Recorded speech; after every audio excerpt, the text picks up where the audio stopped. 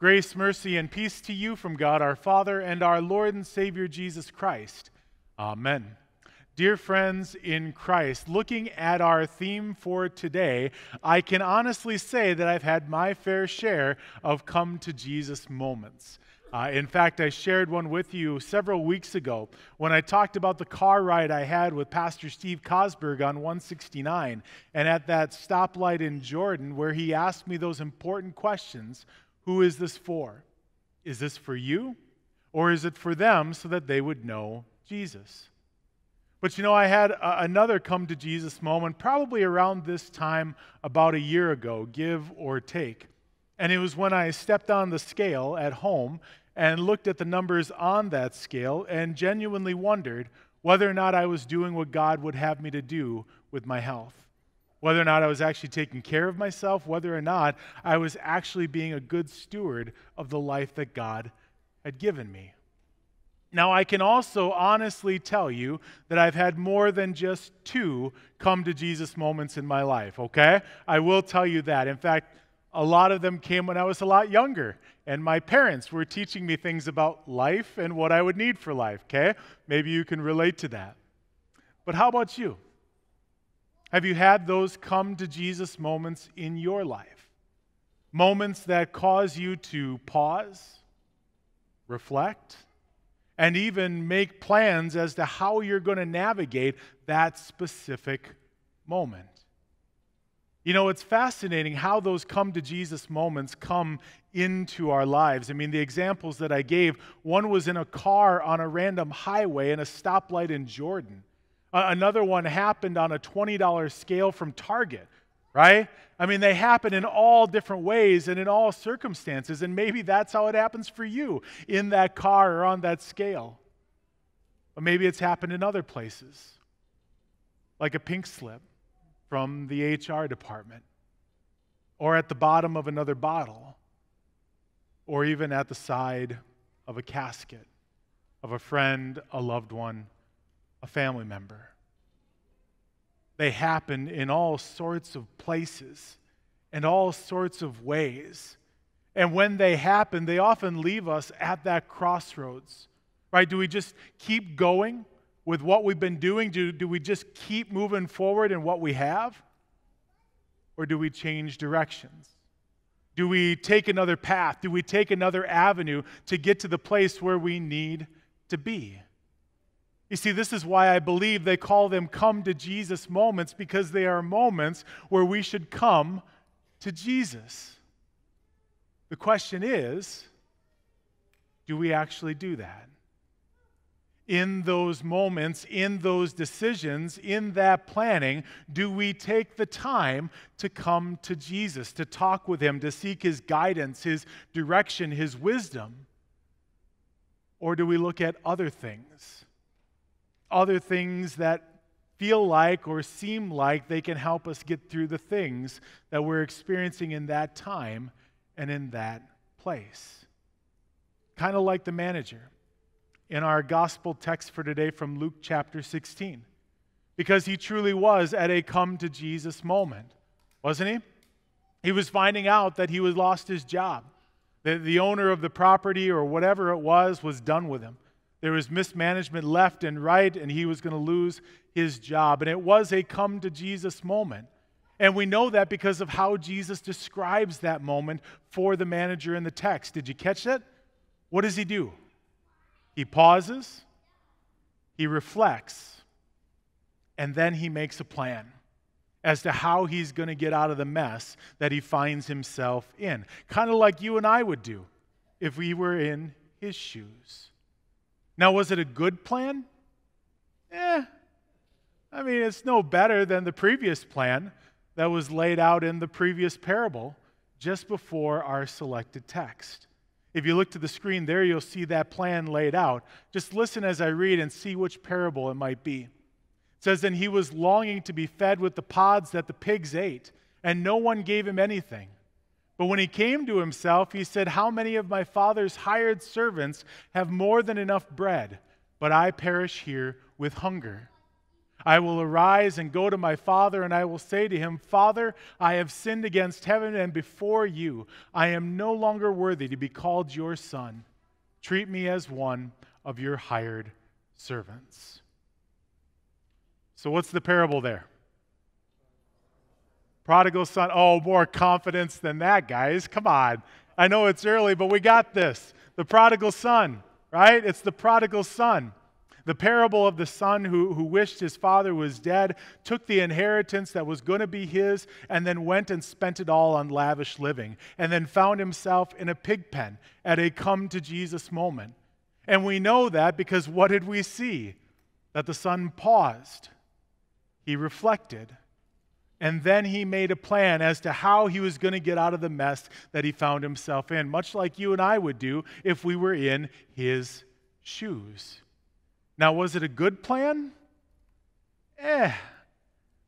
You know, it's probably no better than the plans that you and I come up with when we find ourselves in those moments, in those times, in those places. Because when we're there, we do come up with plans, don't we? And, and don't get me wrong, they are well thought out plans.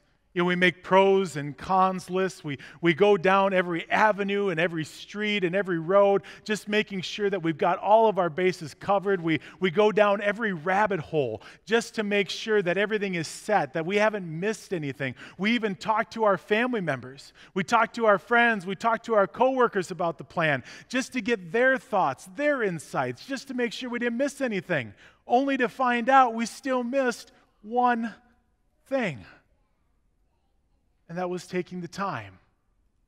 In the midst of all of that planning, talking to everybody, thinking about everything, and never taking the time to talk to our God in Christ, to go to Him, to really come to Jesus in those crossroads, in those moments. And that's too bad for us, dear friends. Because what we would find there is something that is more than enough to get us through those times, more than enough to, to give us wisdom and discernment and direction on how we're going to get through this mess that we find ourselves in. Something that the manager and the prodigal son didn't even expect as they tried to carry out their plans.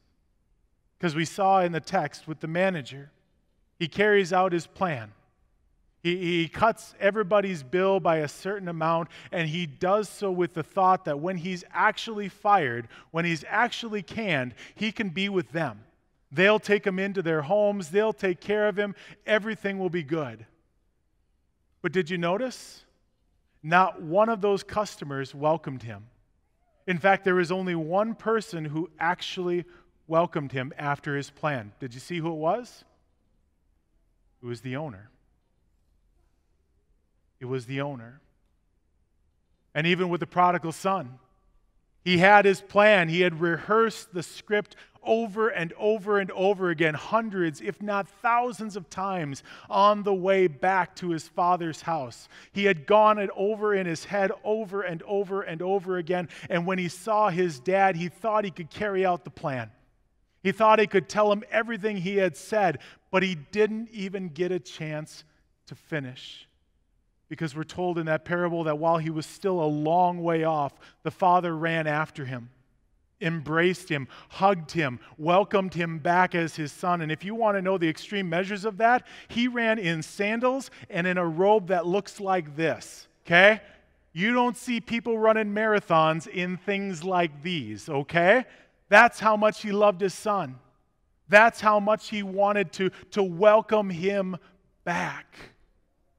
And it really shows, even with all the planning, even with all the understanding and thoughts and thinking and everything, there's still one thing that they did not expect.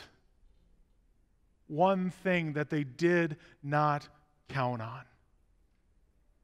And that was the abundant grace that was shown to them.